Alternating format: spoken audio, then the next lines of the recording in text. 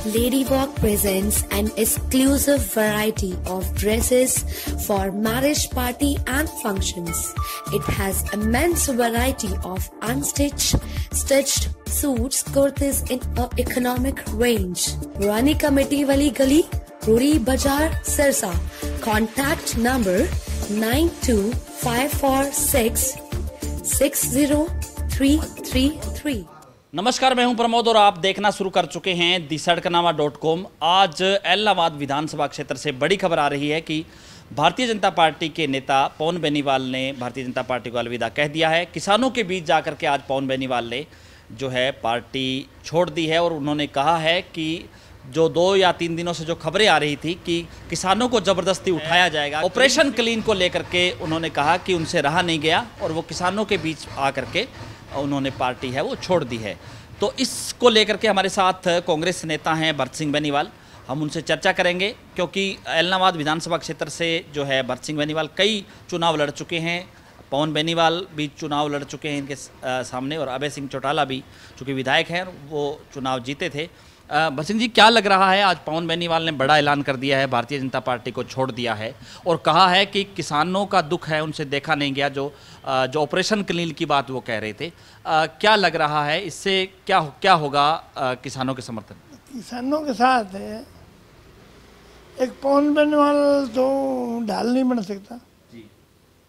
हम किसानों के साथ तो सरे हैं कांग्रेस सारी घड़ी है किसानों के साथ है। जास्ती जुल्म हो रहा है। उनमें सहयोग हमारे से जो होता है वो दे रहे हैं। एक पौन आ जाए तो क्या बात है? कोई दिक्कत नहीं। वो क्या डाल बन जाएगा? ये तो बयाना बना रहा है कि भाई मैं किसानों में जाके उसने दिया है पार्टी छोड़ी है। पार्टी छोड़ दी तो वो हल्के में तो ये कह गया मैं कांग्रेस में जा रहा हूँ।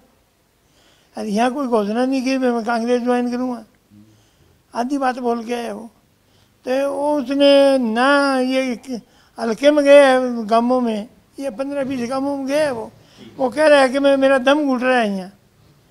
बीजेपी में। मेरी मानता नहीं सिपाही मैं रह के करूँगा क्या? सिपाही भी नहीं मानता। उनका मान लो उनके काम काज नहीं हो रहे। काम काम नहीं हो रहे कोई मेरी सिपाही भी नहीं मान रहा। एक मिनट रुकियो फिर करूँ मैं गोली बैठे हूँ। तो काम काज नहीं हो रहे। हाँ काम नहीं हो रहा कोई मेरी सिपाही भी नहीं मान रहा मेरी। मैं किसका काम करूँ? बड़ा अफसर के तो कहने की बात ही नहीं है। तो मैं मेरा दम घुट रहा इस पार्टी में। लोगों कह रहे मेरे को तीन महीना हो गया मेरा सामान ले आने। इलाहाबाद में सामान ही देख लिया तीन महीना से। सामान? आपके दफ्तर का। लोगों ने कहा लोगों ने कई कामों में कहे अरे एक दिन वहाँ का था कौन से काम का था? उसे कहा इलाहाबाद का। कोई नंबरदारी केस के लिए गया था?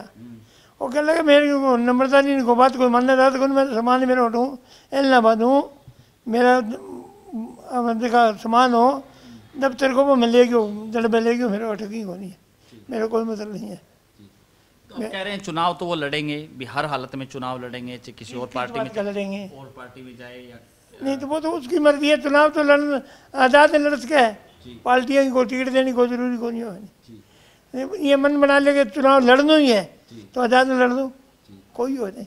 कांग्रेस में जाने की जो चर्चाएँ थी भी कांग्रेस ज्वाइन कर सकते हैं उसको लेकर क्योंकि आप भी कांग्रेस से नेता है उस हल्के से आप प्रतिनिधि तो वो तो पहले क्या था जब इलेक्शन आ रहा था उस टाइम भी कहा था इसने कि मैं अगली बारी कांग्रेस की एक ही टिकट लेंगे। हम मुझे वो चुटाले बड़े इकट्ठे हो सकते तो हम भी अंकल बेटे हम भी इकट्ठे होंगे। इसने रज भी कह दिया था ये बात तो। तो अब आप उस बात पे कायम है कि हो सकते हैं इकट्ठे? एक होने तो क्या है इकट्ठा? हमारा परिवार का मामला था वो समझौता हो गया है। तो उसमें इकट्ठा होने में भी क्या कोई दिक्कत नहीं है। अब सिर्फ़ ब्याह शादी में मान ले अब आने लग रहे हैं घर में। मौली दिवाली भी बहुत आते हैं हमारे भाई भी छोटे भाई है भतीजे वो भी जाते हैं वो भी हमारे घर आते हैं। तो आपने कहा कि पहले जो सिपाही नहीं सुनता था पार्टी में दम घुट रहा था इसलिए उन्होंने पार्टी छोड़ी है। हाँ, तो अब पार्टी छोड़ दी अब अब सिपाही सुनेगा उनकी बात? नहीं वो ज्वाइन करेगा जो सुनेगा ना। क्या क्या कौन सी पार्टी ज्वाइन करेगा? वो उनकी मर्ज़ी। पार्टी के लिए नहीं सुनता है ये तो कोई निर्दलीय कैंडिडेट का कोई सुनता नहीं। जो। पार्टी हाईकमांड पीछे मज़बूत होती है तो अफसर मानते नहीं नहीं मानते। कोई छोटी पार्टी है तो मानते नहीं। जिस तरह से पवन बेनीवाल ने कहा कि उनके कामकाज नहीं हो रहे लंबे समय से सीएम के अनाउंसमेंट भी काम नहीं हुए और ये भी एक कारण रहा उनका पार्टी छोड़ने का और दूसरा जो है किसानों के समर्थन में उन्होंने पार्टी छोड़ी है। किसानों को तो बिल्लू भी कह रहा है कि किसानों के लिए इस्तीफा दिए हैं ये तो खाली बातें हैं। किसानों के लिए कुछ नहीं है इनका। बाकी आपकी बिल्लू ने आपकी मर्ज़ी आपकी हवा बनाने के लिए इस्तीफा दिया था। अरे ये बात ये किसानों का नाम ले रहा है। देखिए ये, ये झूठी बात है इसने पार्टी छोड़नी थी। छोड़नी थी। हाँ पार्टी इसने छोड़नी थी क्योंकि काम तो होता नहीं। काम नहीं होगा तो अगला जैन खाएँगे लोग। फिर क्या करेंगे हम? जब हम काम ही किसी का नहीं करेंगे तो जनता जान खाएगी हमारे को छोड़ देगी जनता। ये पौन डेढ़ साल से गई गए हल्के में नहीं गया। लोग जाए तो जान खाएँ जान खाए तो फिर काम ना हो तो फिर क्या करें? लोगों को जवाब किया दिया? अब तो कई हल, हलकों में जो है अधिकतर काफ़ी गाँव में बीजेपी और जेजेपी के नेताओं को गाँव में नहीं घुसने देंगे ऐसे पोस्टर भी लगा रखे हैं। हाँ है। मैं भी कल गया था इधर। कल मैं ऐसी बात आ रही वो फाउंड बैन वाले भी हल्के में फिर रहे। जब वो कई काम थे उधर पंजाबियों का इधर- कुत्ता बरसते वो कह रहे थे पौन आ गया तो हम नहीं बढ़ने देंगे गाँव में। तो अब तो उन्होंने बीजेपी छोड़ दी अब तो कोई दिक्कत नहीं आएगी आपको क्या लगता तो है उनकी लोगों की मर्ज़ी है। वो तो लोगों की मर्ज़ी है। किसानों के समर्थन में वो आए हैं पार्टी तो भाई क्यों झगड़ो करेंगे लोग? वो तो पहले तो बीजेपी के खिलाफ कर रहे थे। अब वो पार्टी छोड़ चुका है तो उसके साथ क्यों झगड़ा करेंगे? नहीं करेंगे। जनता की पागल थोड़ी है तो क्या कांग्रेस में अगर पवन बेनीवाल आते हैं तो जो आप भी टिकट की दौड़ में आप भी शामिल हैं आप भी पार्टी को कहेंगे कि मुझे भी टिकट दो या पवन के बीच में या दोनों में समझौता होकर के एक आदमी या एक नेता टिकट मांगेगा उसको लेकर के कुछ कांग्रेस में इतना जल्दी टिकट मिलती नहीं। कांग्रेस का नेतृत्व है। जी। ये कोई बाई इलेक्शन तो मिलने का नहीं नहीं। जी। बाई इलेक्शन नहीं और वैसे इतनी जल्दी टिकटें मिलती नहीं कांग्रेस की। बड़ी आराम से मिलती है। अगले को पहले देखते हुए कैसे है। इससे पहले तो ये चुटाले पार्टी में रहे बीस साल तक तो। अरे बीस तीस साल रह गए दो पीढ़ियों से तो चुटाले में हो गए दो तीन पीढ़ी चल गई इनकी। अब ये बीजेपी में है दो प्लान बीजेपी में रहेगी बीजेपी छोड़ दी। हो सकता है इसकी मर्ज़ी है अब वो कांग्रेस में आए ना आए इसकी मर्ज़ी है। लोगों ने कहा ये अभी कांग्रेस में आऊँगा लोगों को तो ये क्या है। ए, किया तो आज कहना चाहिए मैं कांग्रेस ज्वाइन करूँगा। कहना चाहिए इसने। नहीं अभी ये नहीं कहा कि वो ये उन्होंने हालाँकि ये बात ज़रूर कही है कि वो नेश, नेशनल पार्टी को छोड़ के आए हैं और किसी रीजनल पार्टी में नहीं जाए क्षेत्रीय पार्टी में नहीं जाएँगे किसी नेशनल पार्टी में जाएँगे। यानी कि सीधे सीधे तौर पे उन्होंने संकेत दिए हैं कि वो कांग्रेस में जाने वाले हैं। सेकेंड देने की बात है हल्के में जब कांग्रेस का केक है तो अटकने में क्या शंका है? हल्के में लोगों में क्या है कांग्रेस में जा रहा हूँ। मैं जा रहा हूँ कांग्रेस में आप मेरा साथ दोगे जब बोले बीजेपी की टिकट ना लिए बीजेपी की टिकट लिया मेरा का कोनिया नहीं अ, बोले कांग्रेस में जाऊँ तो बोले कांग्रेस में जाए मैं राज्य अब अगर कांग्रेस की टिकट पवन बेनीवाल को मिलती है तो क्या हल्के का जो कांग्रेस कार्यकर्ता है वो उनके साथ चलेगा आपको क्या लगता है जो आप पहले आपके साथ वो वोट डालते रहे हैं कई चुनाव में और पवन बेनीवाल को टिकट मिलती है तो क्या वो वोट ट्रांसफ़र होगा पवन बेनीवाल के नहीं मोदी ऐसे नहीं इतनी जल्दी टिकट भी नहीं मिलती। ये बाई इलेक्शन इसमें इतनी जल्दी टिकट नहीं मिलती। इसकी तो एक से गिनती चालू होगी वोट मांगेगा तो। एक वोट से। कांग्रेस ज्वाइन करेगा तो। मेरी होगी पैंतीस छत्तीस हज़ार से। कितना फ़र्क है? तो पैंतीस छत्तीस हज़ार पिछली बार हालाँकि आपको वोट मिला पैंतीस हज़ार के करीब। अब क्या लगता है कि वो वोट आपका स्थिर है वो वहीं खड़ा है जहाँ पिछले तो वहीं खड़ा खड़े और जुड़े हैं हमारा।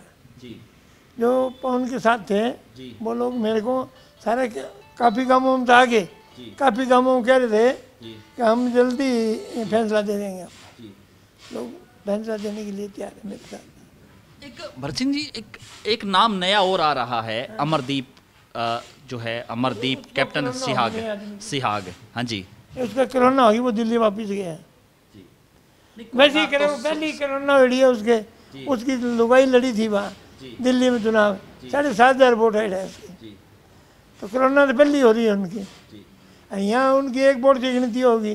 फिर चुटाल वालों को देनी है टिकट सारी। तो फिर चुटाले काम में छोड़ी आएँगे तीनों टिकटों को। फिर इलेक्शन तो होना ही नहीं और टोस कर लेंगे आप उसी में एक ही एक ही दादा की औलाद के बैठे हैं। पोते हैं। तो फिर इलेक्शन किस चीज़ का है ऐसे कि हाई- हाईकमांड ऐसी है।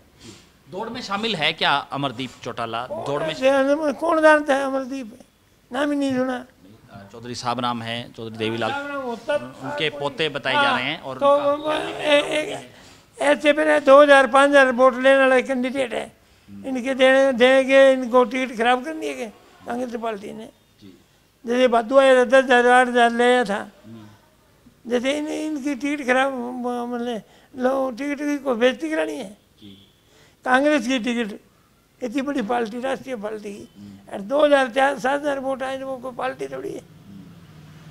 आगे तो उन्हें बांटी दी गई अंडर मैट्रिक रह गया था रही। एक वो आदमपुर में था साढ़े सात हज़ार आया था। अरे वो केडिया था इसके सात आठ है इसका अंडर मैट्रिक रहा सारा तो टिकट देने से कोई फ़ायदा है इस बातों को? और क्या लग रहा है चुनाव नज़दीक आता जा रहा है हालाँकि घोषणा नहीं हुई है तो अलग अलग पार्टियाँ कितना दम लगा रही है चुनाव देखो हम तो लगा रहे हैं बाकी तो आप आपका सारी लगाते होगे। दो तीन कई दिन पहले जो है प्रदेश अध्यक्ष कुमारी सैलजा ने भी कई गाँव का दौरा किया। हाँ, आठ दस गाँवों में गई थी हमारे। जी तो क्या रहा लोगों का रिस्पांस किस तरह का था? आप देखो बहुत बढ़िया रहे। जी। दो सौ गाड़ियाँ थी हमारी। दो सौ गाड़ियाँ मुख्यमंत्री होते हैं आती है। इतना रास्ता चार चार हज़ार पाँच पाँच हज़ार तीन तीन हज़ार चार चार हज़ार आदमी दिलसा हुआ। है एक गाँव का दिलसा।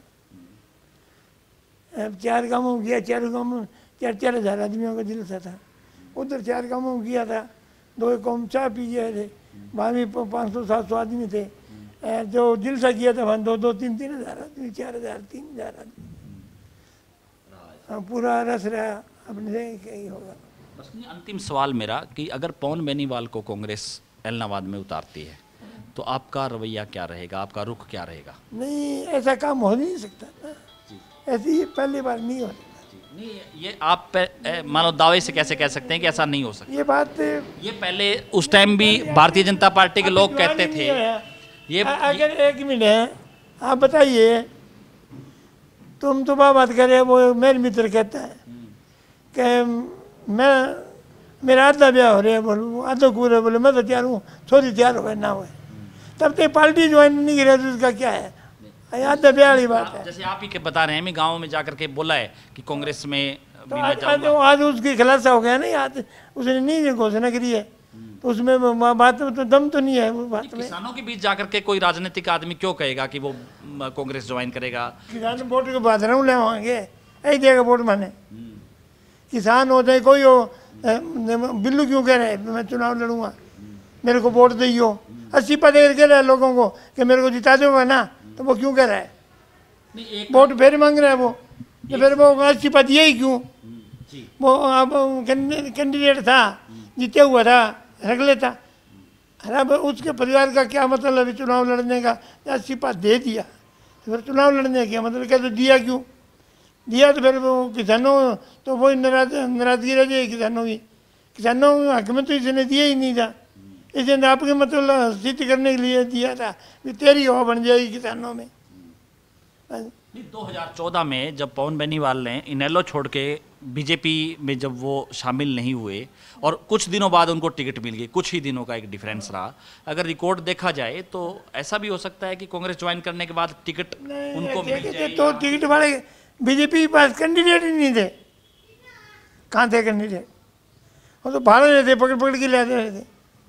नेहरा साहब में सबसे ज़्यादा ये नेहरा साहब था सबसे बड़ा लीडर इसके इक्कीस हज़ार वोट आए थे।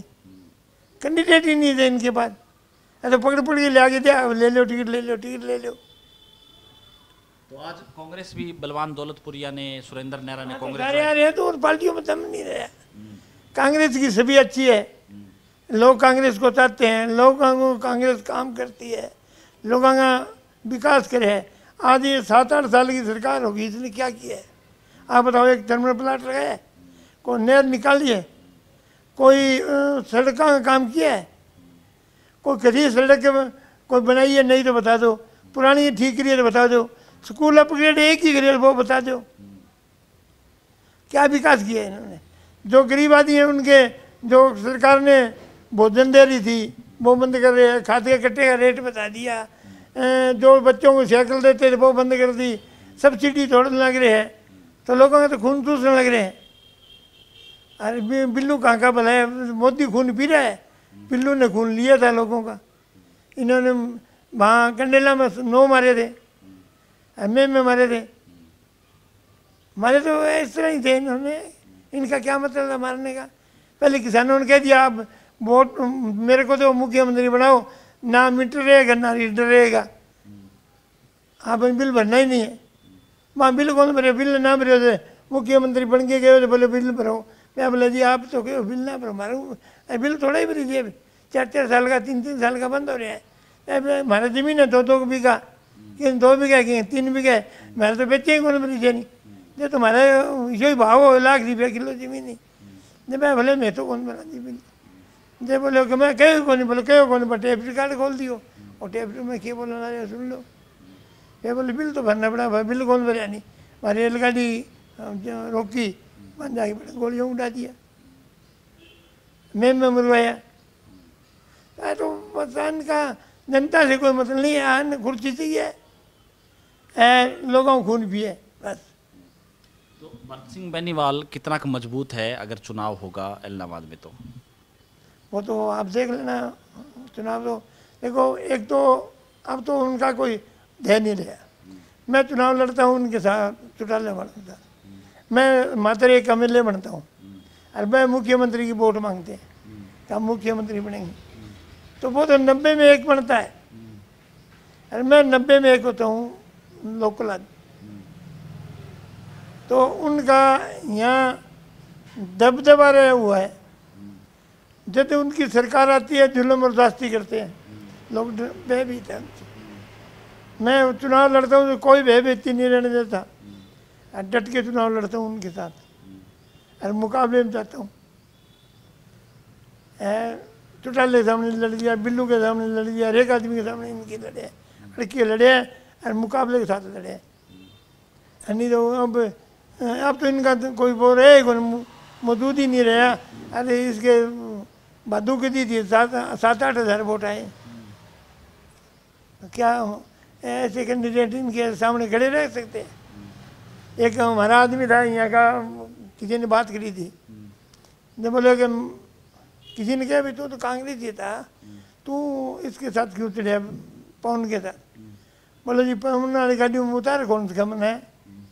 जब बोले मैं मैं भादू वाली गाड़ी में चढ़े हुआ नहीं तो पौनी मन कहा अरे मैंने कहा अरे भादुड़े ने कहा रे थोड़ी देर तू जाते चलो भादू ने कहा कि भाई तू वो आदमी तो चलो उतार दे इन्हें मेरी जाऊँगा अरे तू दही जा आओ यार मेरे साथ डर तो मैं तो पौनिया का नहीं गया वाली गाड़ी उतारने तो कौन दे बंदूक उड़ा रखा करना तो बेचारे मैं रमेश भादुआली में हूँ तो रमेश ने कहा, तू तो दा तेरे इन्हें मिल जावा आओ मेरे तो ऐसी बातें हैं। तो लगातार हमारे साथ बने रहिए और इस वीडियो को आप ज़्यादा से ज़्यादा शेयर ज़रूर कर दीजिए, क्योंकि आज एलामाद विधानसभा क्षेत्र से बड़ी खबर आई और उसके बाद हमने बातचीत की, विशेष बातचीत की कांग्रेस नेता भरत सिंह बेनीवाल से। बहुत बहुत शुक्रिया।